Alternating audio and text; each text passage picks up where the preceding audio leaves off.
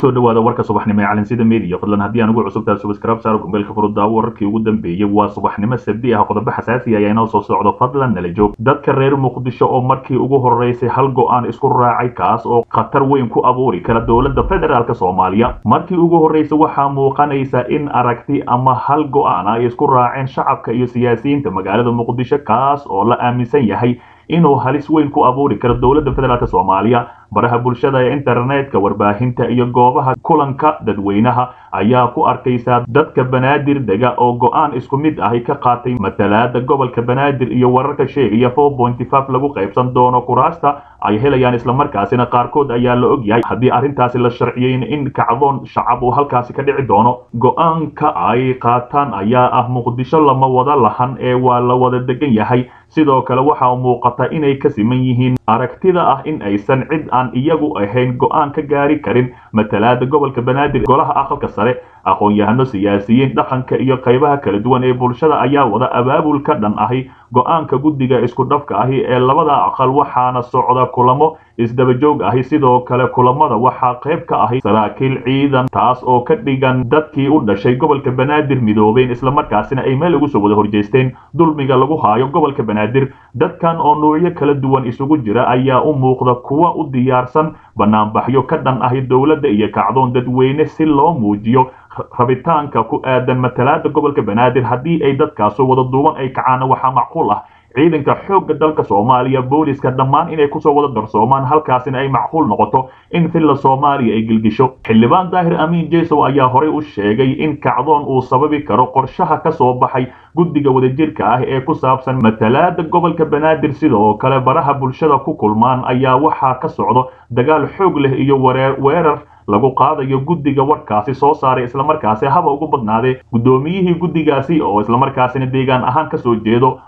koonfur galbeed. Haddii aan arrintaani wax laga bedelin ayaa waxaa laga cabsi qabaa in kacdoon ka dhan ahay dowladda ka bilowda muqdisho kaas oo khatar ku ahay dowladnimada soomaaliya oo muqdisho keliya awood ku leh ayna suurtagal tahay in magaalada laga eriyo islamarkaasina gebi ahaanba madaxweyne farmaajo ra'iisul wasaare xasan cali khayre ay barkimahooda hore ugu qaataan si kastaba ha ahaatee siyaasiyiinta iyo xildhibaanada dhammaan dhallinyarada iyo saraakiil ka tirsan xoogga dalka soomaaliya ayaa qaarkood baraha bulshada ku wareejinaya in arrintaani aan loo dulqaadan karin. Dhinaca kale shiikh ka tirsan ururka al-shabaab oo sheegay inuu daawo u helay cudurka caabuqa sagaal iyo toban. Shiikh ka tirsan kooxda argagixisada ee al-shabaab ayaa sheegay in inuu dawo u helay cudurka caabuqa sagaal iyo toban ee caalamka ku sii faafaya kaasi oo sidoo kale dad badan ku dilay gudaha soomaaliya. Sheikh suldaan maxamed aala maxamed oo ka mid ahi mas'uuliyiinta al-shabaab ayaa sheegay in ay jiraan dawooyin dabiici ah oo lagu tacaali karo cudurka caabuqa sagaal iyo toban oo iminka dhibaato badan ku hayo gudaha dalka soomaaliya.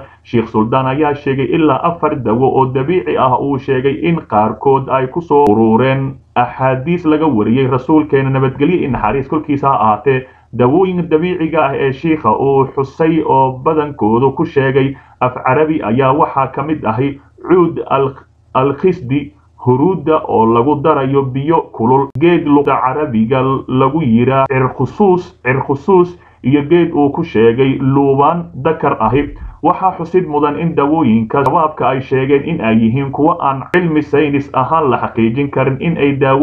daaweynayaan caabuqa sagaal iyo toban. Sidaa daraaddeedna ay muhiim tahay in qof kasta uu dhakhaatiirkiisa kala tashto dawo kasta oo uu qaadanayo islamarkaasina dhibaato xoogan ku keeni karto. Kooxda al-shabaab ayaa markii hore uu cudurkani soo shaac baxay beenisay inuu ka jiro soomaaliya waxayna sheegtay inuu yahay cudurka loogu talagalay in lagu laayo gaalada. Si kastaba ururka al-shabaab ayaa markii dambe soo saaray bayaan ay soo saartay ku sheegay in kadib kulan ay ka yeesheen madaxdoodu arrimaha cudurka caabuqa sagaal iyo toban ay iska dhex magacaabeen guddi ka kooban toban xubnood oo la tacaala cudurka caabuqa sagaal iyo toban islamarkaasina aqoonsadeen in cudurkani soomaaliya yaalla islamarkaasina dadka muslimiinta uu dili karo ayagoona horay u sheegeen cudurkani keliya loogu talagalay. Dadka gaalada ah oo dili kare oo dilayo islamarkaasina dadka muslimiinta ah gaar ahaan soomaalida oo dilaynin ugu dambayntiina guddi ayay u magacaabeen islamarkaasina ka hortaga caabuqa deegaanada ay gacanta ku hayaan way muuqataa doorasho ma dhacayso xilligeedii. Maxaa diidaya in xaqiiqda la wajaho islamarkaasina dhowr qodob ayaa u kala faalin doonaa waxaa maalinba maalinba ka dambaysa soo muuqanaysa in aan dalka wax doorasho ahi ka dhacaynin xilligii loogu talagalay dhowr sababood awgeed. Qodobka koowaad xasan cali khayre oo wakhtigii la qaban lahaa doorashada si ku talagal ahi u lumiyey islamarkaasina beerdara uu noqday wakhtigii laba xukuumadda hadda dalka ka jirta oo ah mid hal qof keliya ku siman one man show oo aan awood aqooneed iyo mid kartiyeed lahaynin islamarkaasina aan lahayn wasiiro howlaha doorashada hadda qaban kara kuwaasi oo ah koox uu ku shaqaysto. Ra'iisul wasaare xasan cali kheyre qodobka saddexaad dowlad goboleedyada dalka ka jira oo aan xiriir kala dhexaynin dowladda dhexe ee sidaasi daraaddeed u baahan wakhti dheer in ay labada dhinac heshiis la dhex dhigo islamarkaasina wakhti badan qaada doonta. Afar dhaqaalihii ku bixi lahaa doorashada nooc kasta oo ay noqotaba oo aan ilaa iminka lahaynin ilaa iminkana aan la soo shabin maadaama qaramada midoobay qaarkeed ay ballanqaaday shan labada aqal oo ay ka go-an tahay in ay helaan wakhti kororsi iyaga oo u baqaya kuraastooda islamarkaasina ay aad uga cabsanayaan inay halkaasi kuraastooda lumiyaan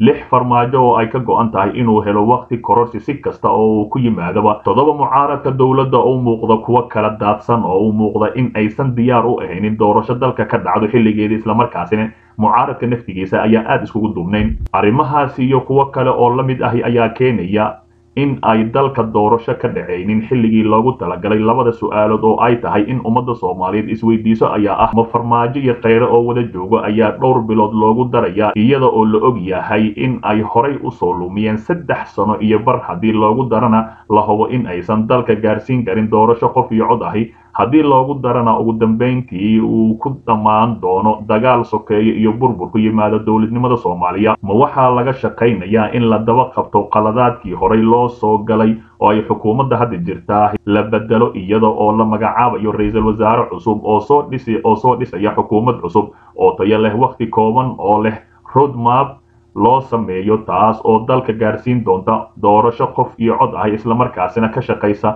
Sidii la isugu soo dhowaan lahaa ummadda soomaaliyeed soomaalida waxa ay tidhaahdaa ama ay ku maamaahdaa caano waa la daba qabtaa waxaa nasiib xumo ah in mucaaradka dowladda ay ku guul daraystaan in ay la xisaabtamaan dowladda farmaajo laakiin iyaga oo soo jeedo ayaa derbi lagu geeyey. Derbiga haddana waxa ay ku khasban yihiin in ay farmaajo kula gorgortamaan. Xilli ka baxsan xilligii loo igmaday doorasho inay dhacdo iyo xilligii loo igmaday uu dalka hogaamiyo. Ma ahan in soomaalida seegto talada xilligan kala guurka islamarkaasina qof walba waxa uu xusul duuban yahay. Sidii uu wakhti u heli lahay waa ra'iisul wasaare iyo ninka loo magacaabo madaxweyne farmaajo baarlamaanka labada aqal islamarkaasina dhammaan waxa ay doonayaan wakhtigan aadka u gaaban in aysan kursigooda ku waayin ay helaan mid walba midka ka dambeeya wakhti kororsi. Dhinaca kale waa maxay sababtii taliyaha ciidanka xoogga dalka uu gaaray magaalada beledweyne ee xarunta gobolka hiiraan? Taliyaha ciidamada xoogga dalka soomaaliyeed jenaraal odawa yuusuf raage ayaa gaaray magaalada beledweyne iyadoo ay weheliyaan saraakiil ciidamo waxayna safar kaga baxeen magaalada dhuusamareeb warar la helayo ayaa sheegaya in taliyaha iyo saraakiisha la socday ay doonayaan inay halkaasi ka fuliyaan abaabul dagaal oo ka dhan ah ururkaasi al-shabaab. Jenaraal odawa oo ay weheliyaan saraakiil ka tirsan taliska qaybta labaatan iyo toddobaad ayaa dhowaan ka qayb galay kulamo loogu arrinsanayo duulaan ka dhan ahay ururka al-shabaab oo lagu sameeyo deegaanada hirshabeelle iyo galmudug taliyaha waxay u ahayd markii ugu horreysay tan iyo magacaabistiisa uu tago magaalada beledweyne wuxuuna doonayaa inuu sii wado howlgallada ay ciidanka xoogga dalka ay ku doonayaan inay dalka kaga xoreeyaan kooxda argixisada al-shabaab islamarkaasina naf dhuun gashay ku noqotay ummadda soomaaliyeed iyo degenaanshaha saldhig ku yaalla magaalada beledweyne ayaa lagu soo dhoweeyey taliyaha ciidanka xoogga dalka soomaaliya iyadoo saraakiil ka tirsan taliska labaatan iyo toddobaad ee ka howlgala hirshabeelle ay la qaateen kulan ay uga xog waraysanayaan qorshihiisa ciidan islamarkaasina ilaa iminka halkaasi ou joogo